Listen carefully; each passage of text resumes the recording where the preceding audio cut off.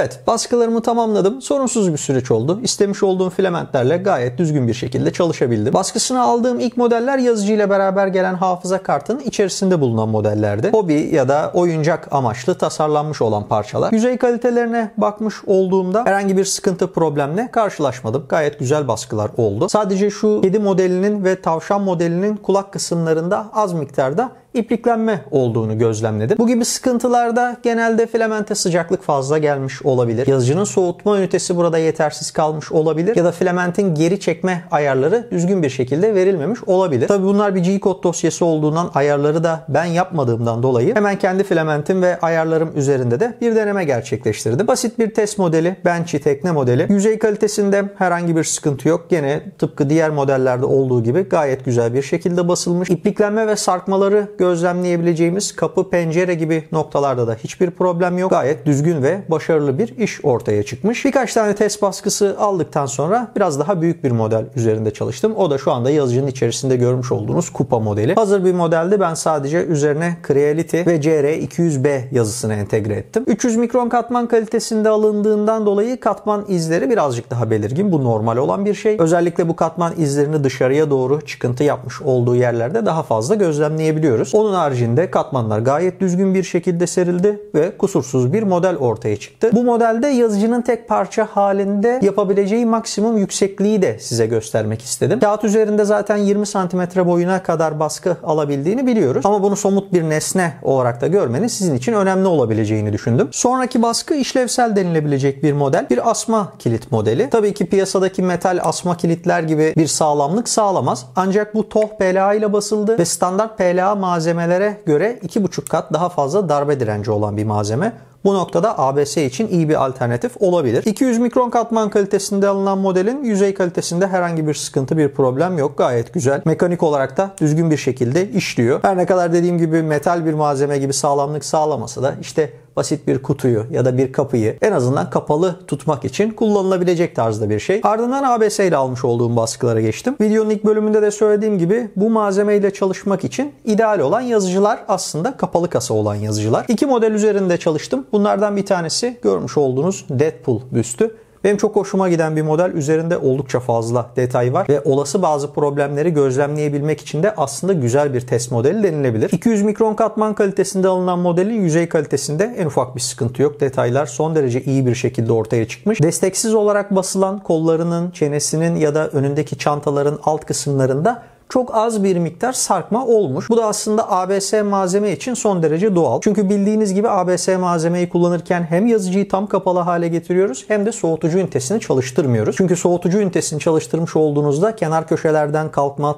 modelin tabladan ayrılması ya da katmanlar arasında boşluklar oluşması, çatlamalar oluşması gibi problemlerle karşılaşabilirsiniz. Soğutmayı çalıştırmamış olmamıza rağmen oluşan bu az miktarda sarkmalar son derece kabul edilebilir. Genelde bu modelde karşılaşılan sıkıntılardan bir tanesi tanesi şu arkadaki iki kılıç arasında çalışırken ipliklenme oluşması. Gene modele bakmış olduğumuzda burada da herhangi bir ipliklenme olmadığını görebiliyoruz. İkinci modelim kalem pillerinizi depolamak için kullanabileceğiniz güzel bir stand. Bu modelde kullanacağınız ya da kullanmış olduğunuz pilleri depolayabilirsiniz. Bildiğiniz gibi piller çöpe atılmaz. Toprağı zehirleyen bir yapıya sahiptir. O nedenle bu tarz bir standta kullanılmış olan pillerinizi de biriktirebilir ve daha sonra bunları bir atık pil kutusuna atabilirsiniz. Modele bakmış olduğumuzda da Yüzeyinde en ufak bir kusur yok. Gayet güzel bir şekilde işlendi. Tablaya sürmüş olduğum az miktar yapıştırıcı sayesinde de modelin tabladan ayrılması, kenar köşelerden kalkması gibi bir problemle de karşılaşmadım. Özellikle videonun son bölümünde yazıcıyı değerlendirirken bu tabla ve yapıştırıcı sürme olayından da bahsedeceğim. ABS'den sonra ABS yapısal olarak en fazla benzeyen ASA filamentle çalıştım. ASA dış mekan koşullarından etkilenmeyen uzun süre güneş ışığına maruz kalsa dahi rengi bile solmayan güzel bir malzeme çeşidi. Önce malzemeyi cihaz işleyebilir mi diye yine ufak bir Benchy tekne modeli bastım. Bu testi gerçekleştirmemin sebebi kullanmış olduğum malzemelerin 250-280 derece aralığında nozül sıcaklığı, 100-110 derece aralığında da tabla sıcaklığı istiyor olması. Bu özellikler CR200B için tam sınırda kalıyordu. Çünkü nozül sıcaklığı 260 dereceye kadar çıkıyor, tabla sıcaklığı da 100 dereceye kadar. Neyse ben ufak denememi gerçekleştirdim ve gayet başarılı bir sonuç aldım. Yüzey kalitesi son derece başarılı, herhangi bir kusur bulunmuyor. Onun haricinde Yine soğutucu burada çalışmıyor olmasına rağmen kapı pencere gibi noktalarda herhangi bir sarkma ya da ipliklenme problemiyle karşılaşmadım. Ardından daha zorlu bir modele geçtim. Aslında malzemenin yapısı itibariyle bu onun için zorlu bir modeldi. Çünkü çekme oranı yüksek olduğundan kenar köşeye sivri noktaları fazla olan modeller bu tarz malzemelerin baskısını zorlaştırır. Görmüş olduğunuz bir kulaklık standı. Genelde böyle oyuncular bu tarz ürünlerin baskılarını tercih ettiğinden dolayı işte ben de bir oyun temalı, Call of Duty temalı bir kulaklık standı yapmak istedim. Kırmızı olan parça asa malzeme ile basıldı. Görmüş olduğunuz gibi birçok sivri nokta ve kenar köşe bulunuyor.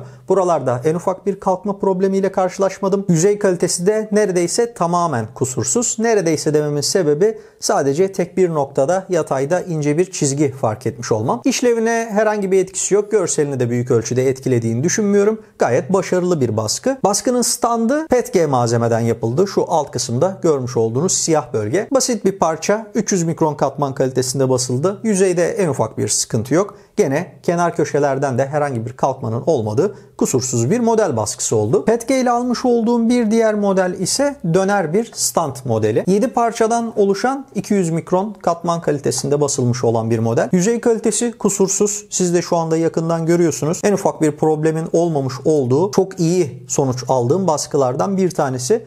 Sadece şu işte üçgen şeklinde görmüş olduğunuz ayakların üst kısımlarında herhangi bir destek kullanmadığımdan ve burada yazıcı uzun bir arada köprü oluşturmak durumunda olduğundan dolayı doğal olarak belli bir miktar sarkma olmuş. Hani ben burada baskı süresini kısaltmak ve daha az malzeme kullanmak için desteksiz basmayı tercih ettim. Muhtemelen burada bir destek de kullanılmış olsa bu sarkmalarda olmayacaktı. Son derece kaliteli bir baskı olmasının haricinde ben modeli de çok beğendim. Ona da değinmek istiyorum. Gördüğünüz gibi yan tarafında bir tane kol bulunuyor. İstemiş olduğunuz nesneyi üzerine koyuyorsunuz ve yan taraftan bunu çevirerek nesnenin stand üzerinde dönmesini sağlıyorsunuz. Benim bundan sonraki çekimlerimde size almış olduğum baskıları gösterirken kullanabileceğim hoş bir model. Buna basit bir elektrik motor mekanizması da takılarak otomatik bir dönüşte sağlanabilir. Son model baskısı da TPU filamentle alındı.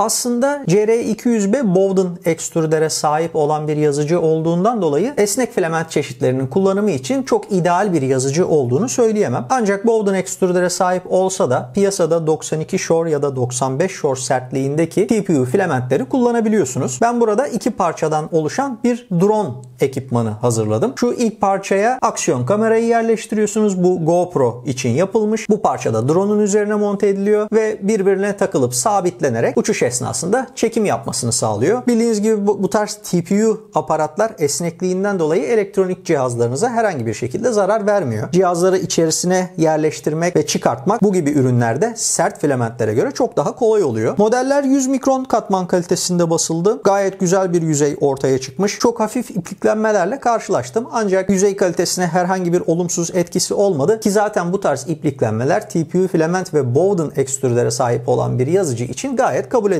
Genel olarak bakmış olduğumda hem işlevsel hem de gayet kaliteli bir baskı olduğunu söyleyebilirim. Ben Creality CR200B'yi oldukça beğendim. Birkaç kere söylemiştim. Tekrar yenilemek istiyorum. Tasarımı oldukça şık. Yazıcının hem dışında hem de içinde kullanılan malzemeler gerçekten kaliteli. Kullandığım çok sessiz yazıcılardan bir tanesi olduğunu söyleyemem. Zaten bu tarz çelik mil ve rulmanlar üzerinde hareket sağlayan yazıcılarda özellikle ani hareket kaynaklı ses çıkması gayet normal. Ancak motorları için tabii ki sessiz sürücüler kullanılmış. Ön kapağı ve üst kapağı da kapatmış olduğunuzda çıkan bu sesi de bir miktar daha kestiğini söyleyebilirim. Ablasının karbonundum kaplama olduğunu söylemiştim. Ancak aynı özelliğe sahip diğer Creality yazıcılara göre birazcık daha farklı olduğunu gözlemledim. Önceden kullandığım tablolarda karbonundum kaplama böyle parlak bir yüzey olarak gözüküyordu. Bunda ise tablanın dış yüzeyi biraz mat. Hani böyle dokunduğunuzda falan da kumlanmış bir cam hissiyatı veriyor. Daha mı iyi daha mı kötü derseniz ben parlak olan yüzeyi bu mat olan yüzeye tercih ederim. Yapışma oranı parlak olan yüzeylerde bu mat yüzeye göre çok daha fazlaydı. O nedenle çekimler esnasında da zaten görmüşsünüzdür. Az önce de bundan bahsettim. Özellikle ASA, ABS gibi malzemelerde ve uzun süreli baskılarımda tablaya belli bir miktar yapıştırıcı sürdüm. Ben genelde böyle bir yapışma problemiyle karşılaşmış olduğumda Giotto stick yapıştırıcı kullanıyorum. Tablo soğukken şöyle 1-2 kat sürmeniz baskılarınızda oluşabilecek yapışmama problemlerinin önüne geçmesine yardımcı olur. Hatta bunu PLA ile çalışırken bile yapabilirsiniz. Her ne kadar bunu bir sefer yaşamış olsam da PLA ile çalıştığım ilk baskıda tabladan ayrılma olmuştu. Yani ikinci baskımda ben bu sonuca ulaşabildim. Çok büyük bir problem değil. Basitçe çözülebiliyor. Ha, ben yapıştırıcıyla uğraşmak istemiyorum derseniz de yazıcının içerisindeki ucuz olan ekipmanlardan bir tanesi bu tabla. Tabla değişikliği sağlayarak da hiç bunlarla uğraşmayabilirsiniz. Bunun haricinde tablanın seviyelemesi çok iyi. Ben sadece yazıcı geldiğinde bir defa ayar yaptım ve almış olduğum baskıları tek ayarla gerçekleştirdim. Herhangi bir ayarda kaçma olmadı. Tabi yazıcının sağlam yapısının da bunda büyük bir etkisi olduğunu düşünüyorum. Arkada görmüş olduğunuz o tablayı taşıyan çelik miller oldukça kalın. Onun haricinde gene ayar yapmak için kullanmış olduğumuz o mandalların üstünde bulunan turuncu yaylar da gene kalın olan yaylardan tercih edilmiş. Baskı kalitesini ise zaten beraberce gördük. Bence oldukça başarılı sonuçlar ortaya çıktı. Creality bu yazıcıyı özellikle eğitim amaçlı kullanmak istediğini belirtmişti. Bence bu fikir için ideal bir yazıcı olmuş. Kullanılabilecek malzeme çeşitliliğinin yanında kapalı bir gövdeye sahip olduğundan dolayı özellikle küçük kullanıcıların güvenliği için önemli bir detay. Örneğin artık ortaokullarda zorunlu teknoloji ve tasarım dersi bulunuyor. Öğrenciler bu derslerde hayal gücünü kullanarak yeni projeler, yeni ürünler geliştiriyor ve bunları üretebiliyor. Bence böyle bir sistemin içerisinde de 3 boyutlu yazıcılar mutlaka yer almalı. Almaya başladı. Bu ivmelenerek devam etmeli. CR200B de eğitim kurumları için özellikle iyi bir seçenek olabilir. Evet benim yazıcı hakkında söyleyeceklerim bu kadar. Sizin de yazıcı hakkında farklı sorularınız ya da kullanıp edinmiş olduğunuz tecrübeleriniz varsa lütfen yorum bölümüne bunu ekleyin. Böylece bu videonun daha zengin bir kaynak olmasına da yardımcı olmuş olursunuz. Umarım sizin için faydalı bir video olmuş ve Creality CR200B ile ilgili kafanızda bir şeyler oluşmasına neden olabilmişimdir. Eğer bunu gerçekleştirdiysem bu videoda amacına ulaşmış demektir. Yazıcınız sorunsuz, baskılarınız kusursuz olsun. Bir sonraki videoda görüşmek üzere. Hoşçakalın.